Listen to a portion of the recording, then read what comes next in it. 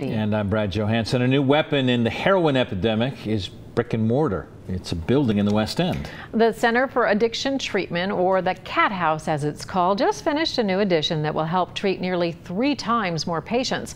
Local 12's Megan Mongello is live tonight with a look at the services that will be added. Megan.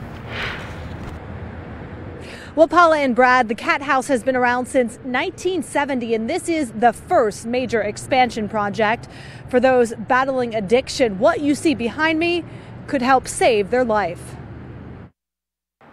Behind the wire fence, you can see the men and women who right now are fighting to get off drugs.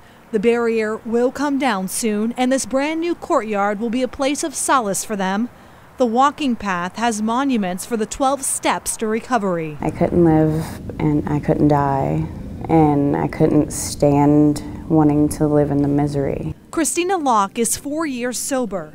We talked to her inside the brand new $5 million Spaulding Recovery and Family Care Building. Two, three!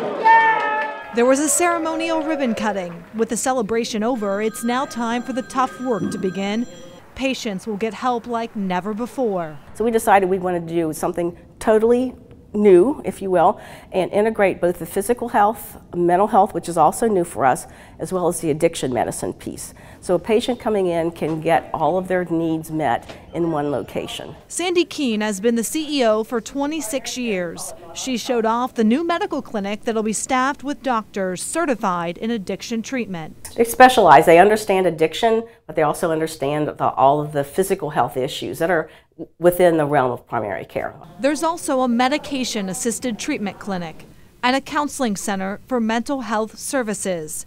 It's not just for patients, it's for their families as well. I absolutely wish that there would have been some family counseling so that I could um, re reconnect with my family faster than I did because I had actually pushed my family so far away that they didn't want anything to do with me.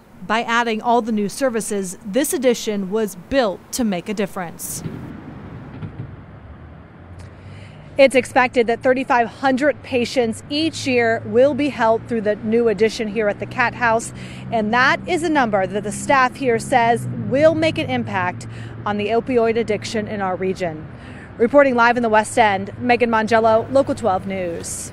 All right, good to hear something positive on that. Thank you, Megan. 26 new staff members are being hired to help handle all of the new patients.